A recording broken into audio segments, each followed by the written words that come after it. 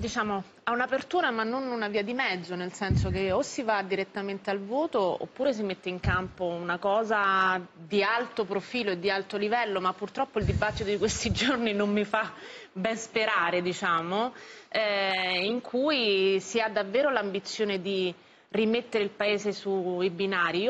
L'unica bella notizia è che questo governo va a casa perché sono state fatte delle cose eh, molto gravi anche mio, diciamo, nel mio settore, nel mio campo, dallo sblocca cantieri fino ai condoni edilizi. Diciamo. I 5 Stelle erano saliti al governo per rivoluzionare il Paese, mi sembra che invece la, la Lega li abbia tenuti a guinzaglio abbastanza. È una crisi stranissima, mi viene da dire che evidentemente dirigere le crisi dal palco del papete al terzo moito non porta bene, eh, non ha lucidità mm, come, come, si è visto perché non si è capito eh, come si intendeva portarla avanti. Questa è una battuta che ha detto anche Alessandro Di Battista? Eh, però è così, perché è veramente irrazionale. Non trascini un paese eh, in questa situazione, con queste modalità, trascinandoci per una settimana su un dibattito, stiamo dando uno spettacolo indecente, io penso, per gli italiani. A me quello che mi preoccupa è Grillo che interviene con il video, con il capoccione, cioè, ma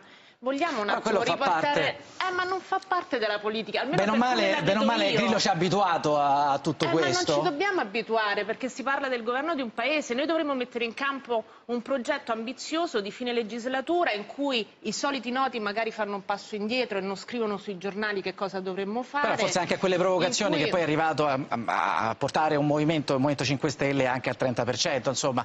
Che idea